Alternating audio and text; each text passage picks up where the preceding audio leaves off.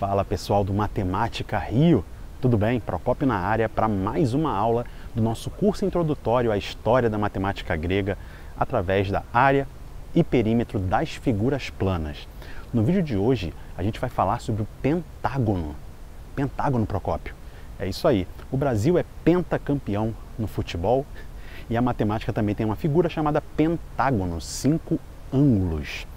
E é uma figura muito interessante, tem muita história através da matemática grega com essa figura. Para entendermos melhor, vamos verificar essa aula que ficou sensacional. E se você está chegando agora aqui nesse curso nosso do Matemática Rio, já deixa o seu like, compartilha com todo mundo, clique no botão inscrever-se para fazer parte da nossa família matemática e apoiar esse projeto educacional aqui no YouTube do Procópio. Beleza, galera? Então acompanhe o vídeo. Ótima aula para você e até mais.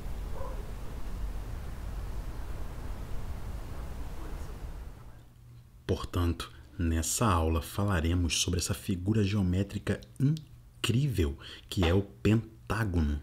Pentágono, Procópio. Pois é, aqui está escrito assim, ó, pentágono. Inclusive é da mesma forma que se fala em língua portuguesa. Olha aí. Então aqui nós temos o pentágono, polígono de cinco lados. Eu vou me ater aqui, principalmente, ao pentágono regular. O pentágono regular é aquele que tem os cinco lados todos de mesma medida. Além disso, os ângulos são todos também de mesma medida. Beleza? Nessa aula aqui a gente vai falar sobre o número de diagonais, sobre a soma dos ângulos internos e vamos falar sobre algo incrível na matemática, que é o número de ouro. Então vem comigo, já deixa o like, compartilha o vídeo e vamos para essa aula incrível. É o seguinte, pessoal, olha só. O pentágono, como o nome já diz, penta, tem a ver com o número 5 e gono, como você já sabe, é ângulo, é, ou seja, uma figura geométrica que tem cinco ângulos. É esse polígono aqui, convexo, com cinco ângulos e cinco lados. Nesse caso é um pentágono regular, então esse lado tem a mesma medida desse, que tem a mesma medida desse, a mesma desse e a mesma desse aqui. Tranquilo? O pentágono, que é uma figura incrível da matemática, a gente vai ver aqui histórias sobre o pentágono, mas ela principalmente aparecia lá nos pitagóricos, cerca de 500 anos antes de Cristo. É isso aí, por, pelo fato do pentágono guardar algumas propriedades cabalísticas que até hoje a gente se admira e muita gente ainda tem medo do pentágono ou do pentagrama, que é obtido pelas diagonais do pentágono que vamos ver já já. Mas olha só que incrível. Para você determinar um pentágono, não sei se você já viu isso antes, basta você dar um nó, um nozinho simples. Por exemplo, pega uma tira de uma folha de papel e dê um nó. Vamos dar um nó aqui para você ver como isso funciona. Ao dar um nó, a figura resultante, tentar fazer da melhor forma que eu puder aqui, mais aproximado, a figura resultante, após esse nó, de maneira incrível, olha só, a figura que resulta é um pentágono perfeito. Eu vou inclusive aqui ó, tirar essas rebarbas para você visualizar melhor o pentágono formado. Olha aí. Olha o pentágono aparecendo para você logo depois de dar um simples nó numa folha. É sensacional. Oh, Procópio nunca tinha visto isso. Pois é, então pegue uma folha, dê um nó que você vai verificar a existência do pentágono. Beleza? Dá para a gente comprovar matematicamente que essa figura aqui é um pentágono regular perfeito. Mas eu não vou fazer isso nesse vídeo. Era apenas uma curiosidade para vocês. Eu fiz aqui um pentágono até maior.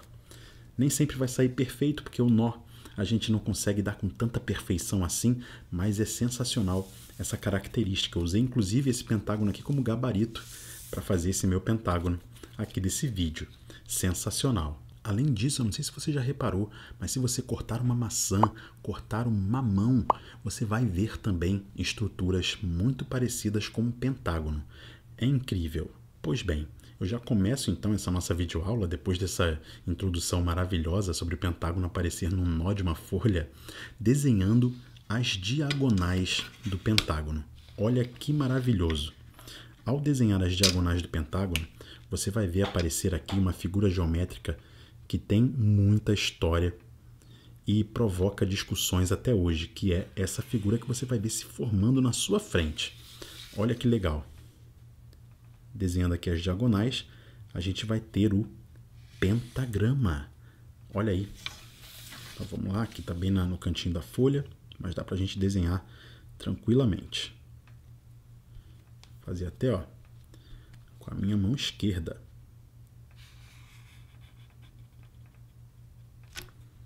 Olha aí se formando na sua frente o pentagrama. Que sensacional, hein? Eu acho tudo isso na matemática incrível e muito emocionante também. A gente está revivendo épocas que nunca vivi. Olha aí.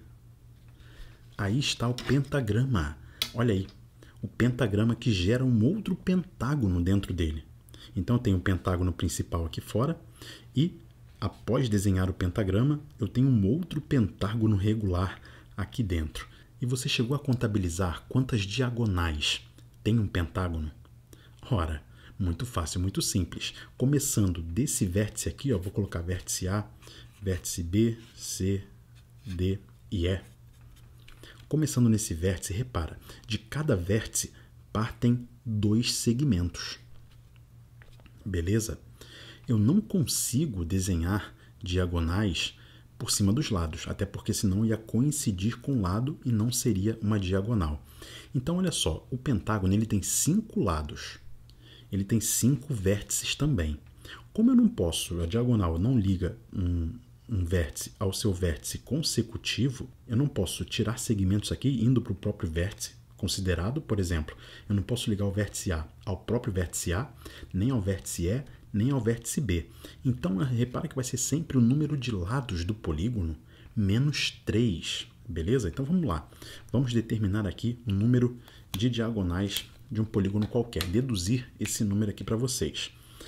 Bom, através aqui, então, a gente do, do pentágono, o número de diagonais baseado no número de lados da figura vai ser o seguinte. Bom, acabamos de ver que eu tenho cinco vértices, beleza? Ou seja, é o número de lados do polígono, então n, e eu multiplico isso, nesse caso aqui do pentágono, por 2. Sai 2 daqui, 2 daqui, 2, 2, 2. Beleza? Repara que isso é sempre o número de lados do polígono menos 3. Exatamente pelo que eu falei. Eu não posso ligar o vértice A no próprio vértice A, nem no vértice E, nem no vértice B. Então eu subtraio por 3. Então vai ser o número de lados do polígono multiplicado pelo número de lados menos 3. Só que, repara uma coisa comigo, essa diagonal, por exemplo, do A até o D, eu contabilizo uma vez dessa forma aqui e uma vez também saindo do D e vindo até o A, que é a mesma diagonal. Então, para não contabilizar duas vezes, ó, repara que isso acontece com todas. Essa que liga o vértice E até o vértice B, eu contabilizaria também ligando do vértice B até o vértice E. Para não contabilizar duas vezes, eu vou dividir tudo isso aqui por 2. E está aí, de maneira incrível, o número de diagonais de um polígono qualquer é dado por essa formulinha, baseada no número de lados da figura. Olha aí. Então, o número de diagonais é o número de lados do polígono multiplicado pelo número de lados menos 3 e tudo isso dividido por 2. Repara que vai funcionar no pentágono. Número de diagonais de um pentágono, no lugar do n eu coloco 5, já que o pentágono tem 5 lados. Isso vai ser 5 vezes 5 menos 3, que dá 2, dividido por 2. Ó, simplifico. 2 com 2, me sobra apenas o 5 o pentágono tem cinco diagonais. Contabiliza aqui comigo, ó.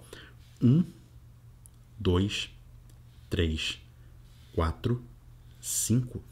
Exatamente cinco diagonais.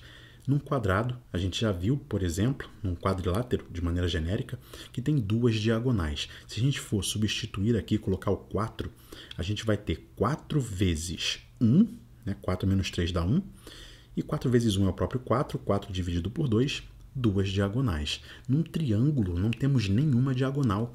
3 menos 3 aqui daria 0. Então, o número de diagonais de um triângulo vai ser igual a zero. Não dá para desenhar diagonais em um triângulo, como a gente já tinha verificado em vídeos aqui anteriores. Beleza? Então tá aí, ó, dedução da fórmula do número de diagonais de um polígono, sensacional. E a soma dos ângulos internos desse pentágono aqui, Procópio. Como que a gente pode deduzir essa formulinha? Repara só comigo aqui também. Eu posso pegar através de um único vértice, digamos o vértice A, e poderia decompor essa figura aqui, esse pentágono, em triângulos. Então vou decompor aqui, ó, por exemplo, ó, ligando o vértice A no vértice D e ligando o vértice A no vértice C. Repara que eu vou decompor o pentágono em quantos triângulos? Olha aqui. Um, dois, três. Concorda comigo? É o triângulo AED, esse triângulo aqui. O triângulo ADC, que é esse triângulo aqui. E o triângulo ACB, ou ABC, beleza? Que é esse outro triângulo aqui temos três triângulos. Então, repara só, o número de lados do polígono é 5. Aqui eu tenho três triângulos. É o número de lados menos 2, multiplicado por 180, já que eu tenho aqui três triângulos e a soma dos ângulos internos de um triângulo sempre dá 180. Então, eu vou pegar 180 e vou multiplicar pelo número de lados menos 2. Assim, a gente deduz a formulinha que calcula o número o somatório, aliás, dos ângulos internos de um polígono. 180 multiplicado por n menos 2. Aqui é 180 graus, logicamente, né? 180 graus, beleza? Então, num pentágono, eu vou considerar como sendo aqui o número de lados igual a 5, 180 graus, multiplicado por 5 menos 2, 5 menos 2 dá 3, 3 vezes 180 dá 540. É isso aí. A soma dos ângulos internos de um pentágono sempre vai dar igual a 540. Então, somatório dos ângulos internos de um pentágono, 540 graus. Dividindo isso por 5, já que são 5 vértices no pentágono, cada ângulo daqui ó, do pentágono vale 108 graus. Beleza? Caraca, Procópio, maneiro, mas me fale mais sobre o pentagrama que eu fiquei curioso agora com essa figura.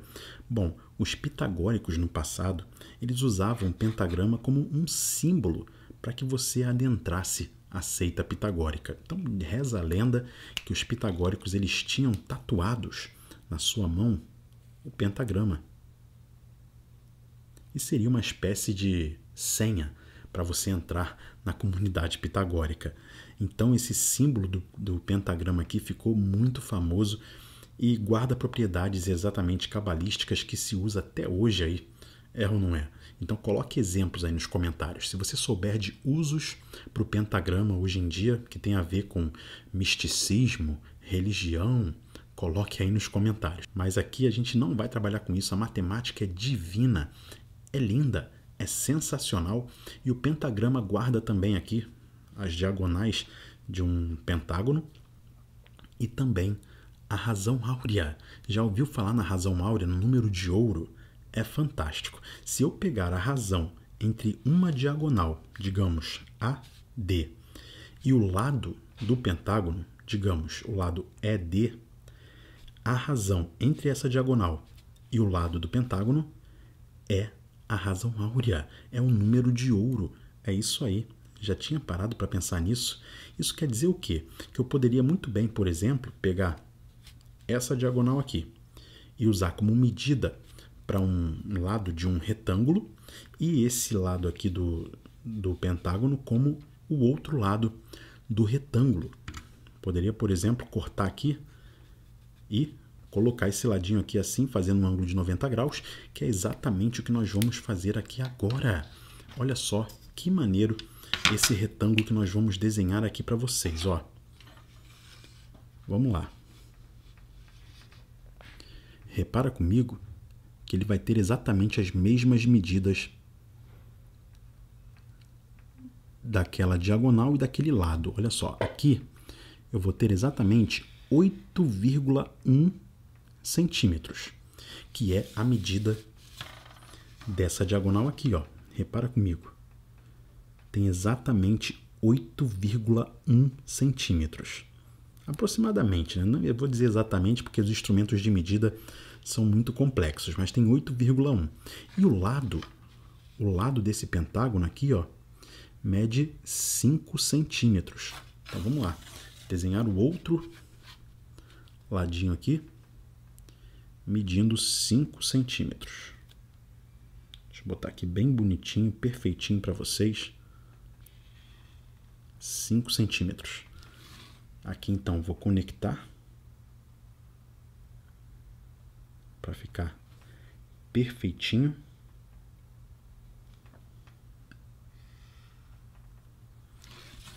E aqui a mesma coisa.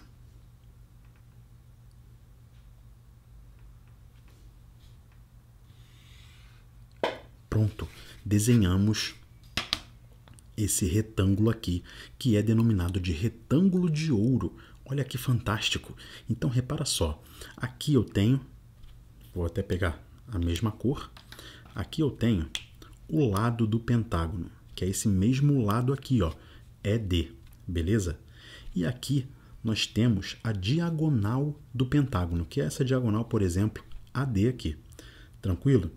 Então vamos lá. O retângulo de ouro, ele tem uma característica muito especial, que é a seguinte: quando você extrai um quadrado desse retângulo, ou seja, vou marcar aqui 5 centímetros para a gente extrair esse quadradinho. Então, daqui, certo? Vamos desenhar esse quadrado aqui. Bonitinho.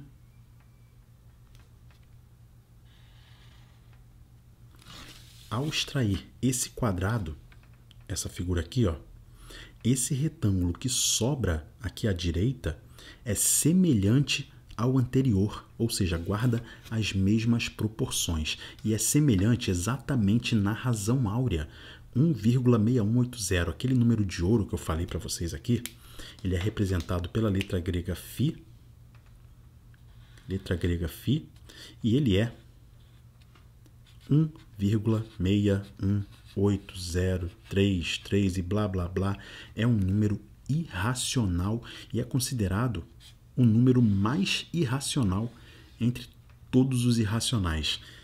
Que é papo para outros vídeos aqui do Matemática Rio. Brevemente falaremos sobre isso aqui também, que é muito bacana, mas aqui o nosso intuito vai ser calcular esse número aqui, de onde ele surge. Olha que maneiro. Se eu disser, por exemplo, que o, esse lado aqui, ó, o lado do pentágono, vale A e se eu disser que o lado, esse lado aqui, ó, desse retângulo menor é B, você concorda comigo que daqui até aqui vai ser A mais B. Certo? Além disso, aqui também vale A, aqui vai valer A, aqui vai valer o B, essa partezinha aqui, né? aqui vai valer o A também, beleza? Então, olha só, se eu seguisse tirando quadrados para determinar outros retângulos ali, isso geraria uma espiral magnífica. Vamos tirar mais quadrados aqui para vocês verem. Aqui eu vou ter que ter 3,1. 3,1 no lado do quadrado, mais ou menos aqui assim, né? bonitinho para vocês. O retângulo que sobra aqui embaixo é semelhante ao anterior na razão áurea. Agora aqui, ó. Aqui tem exatamente 1,9 centímetros. Então vamos lá. Vamos extrair esse quadrado. Mais perfeito que a gente puder para que dê tudo certo. E repara só, esse processo ele é infinito. Poderia fa seguir fazendo isso daqui infinitamente. E isso gera uma espiral que é lindíssima.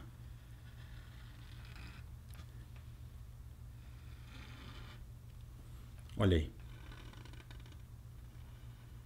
Gera uma espiral lindíssima que é encontrada na natureza em diversas formas de maneira aproximada também.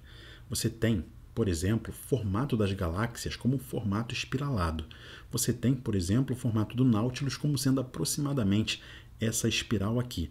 Mas para os nossos propósitos aqui nesse vídeo, o que a gente está interessado em calcular aqui é a razão do lado maior do triângulo pelo lado menor. Ora, como esse retângulozão grande aqui ó, é semelhante ao retângulo menor, ligeiramente menor a ele, fica muito mais fácil, em vez de determinar a razão A mais B sobre A, fica mais fácil determinar a razão A sobre B. Concorda comigo? Então, olha só, eu vou colocar aqui que a razão A sobre B é igual a φ, beleza? E repara o que, que eu vou fazer. Bom, eu vou pegar primeiramente o retângulo maior. Como uma proporção, proporção é uma igualdade entre duas razões. Então, vou pegar a razão entre esse lado maior aqui do retângulo grandão por esse lado menor. Então, aqui, ó, A mais B sobre A. E essa razão vai ser igual a quando eu pegar, por exemplo, esse lado maior do retângulo menor sobre esse lado menor aqui, ou seja, A sobre B, beleza? Então vamos lá. Tranquilo. Agora perceba, como eu tenho aqui uma igualdade entre duas razões, eu posso multiplicar cruzado. Posso multiplicar cruzado sem problema algum. E o que eu vou ter aqui então vai ser o seguinte. Olha só, A vezes A dá A ao quadrado. A, a mais B vezes o B aqui, eu vou ter A mais B vezes B, beleza? Então, repara só, isso daqui vai ser a mesma coisa que A ao quadrado igual a AB mais B ao quadrado. Beleza, né? Repara agora comigo, eu vou pegar os termos que estão ali à direita da igualdade, que é o AB mais B ao quadrado, e vou trazer para o lado esquerdo da igualdade, ou seja, vou igualar a zero. Tranquilo? Então vamos lá. Vamos fazer isso aqui. Eu vou ter o A ao quadrado que já estava lá, menos AB mais B ao quadrado igual a zero. E repara uma coisa comigo agora. Eu quero ter A sobre B. Se eu tiver vários A sobre B's, eu posso trocar por φ para facilitar a minha vida. Então, olha só, eu consigo dividir toda essa equação aqui por B ao quadrado. Então, vamos lá. Divide tudo por b ao quadrado. Beleza? Ao fazer isso, repara só, eu vou ter a ao quadrado sobre b ao quadrado menos ab dividido por b ao quadrado e b ao quadrado dividido por b ao quadrado. Zero dividido por b ao quadrado vai continuar dando igual a zero ali. Beleza? Esse b aqui, logicamente, tem que ser um número diferente de zero. Como é uma medida de um retângulo, então eu garanto que é diferente de zero. Tranquilo? Então vamos lá. Ao fazer isso, repara uma coisa aqui comigo. Ó. Esse primeiro termo é A sobre B elevado ao quadrado. Concorda comigo? Então ficar, vai ficar assim. Ó. Continuar aqui do lado. Eu vou ter A sobre B elevado ao quadrado. Coloquei o quadrado em evidência. É uma propriedade da potenciação. Aqui eu posso simplificar o B de cima com um dos B's embaixo. Então, eu vou ter A sobre B menos A sobre B. E B ao quadrado dividido por B ao quadrado dá igual a 1, beleza? Lembrando que aqui vai ser menos, né? Eu botei mais, mas aqui é menos. Porque esse mais B ao quadrado veio para o outro lado ficou negativo. Então, aqui vai ser menos 1 igual a zero. Tranquilo, né? Repara só, eu disse que A sobre B é igual a φ. Então, vou trocar. Onde aparece o A sobre B, eu vou colocar o φ. Então, aqui eu vou ter φ ao quadrado, substituindo esse A sobre B aqui, né? φ ao quadrado, menos φ, menos 1, igual a zero. Olha aí, eu tenho agora aqui ó, uma equação quadrática. E o fato de eu ter uma equação quadrática diz que eu resolvo essa equação através da nossa famosa fórmula de Bhaskara. É ou não é? Que não é de Bhaskara. Inclusive, contando um episódio da história da matemática, essa formulinha que a gente conhece hoje da fórmula de Bhaskara, lembra dela? Ela diz, primeiramente, que o delta é b ao quadrado menos 4ac, e depois que o valor, por exemplo, do x numa equação é igual a menos o b, mais ou menos a raiz quadrada do delta sobre 2a. Do delta que a gente calculou ali em cima. Ora, essa equação aqui, essa forma de calcular o valor da incógnita numa equação quadrática, é atribuída a Bhaskara de maneira errônea, já que na época do Bhaskara não se tinha conhecimento dessa sopa de letrinhas que é hoje em dia. Estava mais para uma receita de bolo na época dele. Então você faz isso, depois faz aquilo. Porém, algum autor de livro didático brasileiro chamou de fórmula de Bhaskara e apenas no Brasil é chamado de fórmula de Bhaskara. Mas vamos lá, se você em algum momento da sua vida se perguntou, mais um dia se passou e eu não usei a fórmula de Bhaskara para nada, para onde eu vou usar isso na minha vida? Bom, aqui você vai calcular, por exemplo, um número de ouro com a fórmula de Bhaskara. Beleza? Então aqui é o seguinte, calculando primeiramente o delta, delta é b ao quadrado menos 4ac. Ora, o b dessa equação quadrática aqui é esse termo que acompanha o φ, beleza? Então é menos 1. Então eu vou ter ali ó, menos 1 ao quadrado menos esse 4 aqui, que multiplica o valor do A, que é 1, vezes o valor do C, que é menos 1. Repara comigo, então, que o delta vai dar igual a 5. Delta deu 5, olha aqui. Aqui vai dar 1 positivo, aqui vai dar 4 positivo. 1 mais 4 dá 5. Então, olha só, ao calcular o valor do φ, eu teria o seguinte, menos o b se o b é menos 1, aqui vai ser menos menos 1, que dá 1 positivo, mais ou menos a raiz quadrada do delta, que é 5, sobre duas vezes o valor do a. O a vale 1, então aqui vai ser apenas 2 vezes 1, que dá 2. Agora, perceba, repara comigo que o que eu quero calcular aqui é a razão entre lados de um retângulo. Então, eu não vou ter uma resposta negativa, quando eu fizer 1 menos a raiz de 5, raiz de 5 é um número maior do que 1, então ficaria negativo. Eu vou pegar esse menos aqui não vou considerar. Vou considerar simplesmente o valor positivo, beleza? Então repara só comigo que o valor positivo disso vai me indicar que o φ é igual a 1 mais a raiz de 5 sobre 2. Quer calcular comigo quanto que dá isso daqui de maneira aproximada? É um número irracional, né? Vamos lá, vamos calcular isso de maneira aproximada aqui para vocês. Ora, eu tenho 1 mais a raiz quadrada de 5. E tudo isso dividido por 2. Tá aí, né? Agora, o valor é, decimal disso 1,618033 blá blá blá. Olha que legal. Então isso daqui deu 1,618033 tan tan tan, um número irracional e repara só como não é exatamente igual ao número que a gente determinou lá em cima como sendo número de ouro. Olha aí.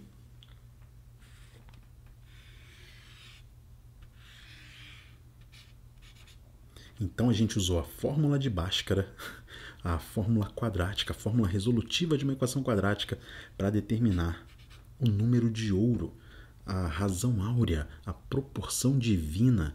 É isso aí.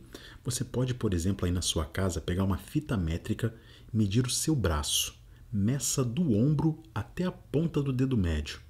Depois, meça o seu cotovelo, do cotovelo até a ponta do dedo médio e divide esses valores. A medida do ombro até a ponta do dedo médio e a medida do cotovelo até a ponta do dedo médio vai dar um número muito próximo de φ. Faz o teste aí e me conta nos comentários quanto que deu. Logicamente não vai dar exatamente igual por conta da imprecisão dos instrumentos de medida e além disso, claro, o ser humano não é um ser matematicamente perfeito. Se fôssemos perfeitos matematicamente, daria exatamente igual φ. Beleza? Então esse vídeo aqui ó, foi sensacional. Aprendemos muita coisa sobre o pentágono. Vimos que o pentágono é uma figura geométrica que tem cinco lados, e nesse caso aqui, como é o pentágono regular, a gente pegou os lados iguais. Nesse caso aqui, eu não determinei nem perímetro nem área dele, porque na verdade não nos interessava nesse caso. Muito dificilmente você vai precisar determinar a área de um pentágono, e se precisar, você pode usar a área dos triângulos. Se você pegar aqui, por exemplo, o centro do pentágono e conectar com seus vértices, você vai dividir o pentágono em diversos triângulos. Dividiu em diversos triângulos, você consegue calcular a área de um triângulo e assim multiplicar por 5 e determinar a área do pentágono inteiro. O perímetro a gente já sabe é a soma dos lados. Então aqui a gente focou exatamente nessa característica do pentágono de ser uma figura diferente, exótica na matemática que determina um pentagrama que até hoje é usado em rituais cabalísticos, em coisas místicas, que eu espero ler nos comentários aí você colocando a sua experiência com o pentagrama e também como esse pentagrama determina, né, como ele é uma das diagonais aqui do pentágono, ele determina uma razão com esse lado do pentágono aqui, que é exatamente o número de ouro. É isso aí que nós determinamos. Construímos aqui um retângulo que tem essa característica. Quando a gente extrai um quadrado dele, o retângulo que sobra é semelhante ao anterior e aí tem essas proporções todas que a gente calculou pela fórmula de Bhaskara, que é exatamente o número de ouro. Além disso, a gente determinou uma fórmula para calcular as diagonais de um polígono qualquer, o número de diagonais e também a soma dos ângulos internos de um polígono. Sensacional! aula incrível, vem com o Procópio, que aqui o seu sucesso ele é mais do que garantido. Já deixa o like e compartilhe com todo mundo. Vamos sempre juntos. E aí, galera, vocês gostaram aí desse vídeo sobre o pentágono? Uma figura incrível, né? Tem muita matemática envolvida, muita coisa interessante. Já tinha parado para pensar sobre a relação da razão áurea com o pentágono, com a sociedade pitagórica. É sensacional, muito legal. A gente fica realmente embasbacado com o poder e com a beleza da matemática. Então, se você gostou do vídeo, já sabe o que fazer. Senta o dedo no like, compartilhe com todo mundo, inscreva-se aqui no Matemática Rio para acompanhar todos os nossos vídeos. Esse foi o vídeo 7. O próximo vídeo será o vídeo 8 do nosso curso e trabalhará com uma outra figura interessantíssima. Tenho certeza que o vídeo será tão ou mais interessante que esse, que é o hexágono. É isso aí, vem com o Procópio que aqui o seu sucesso é mais do que garantido. Você não está sozinho, eu estou contigo. Até o próximo vídeo. Um grande abraço. Tchau, tchau.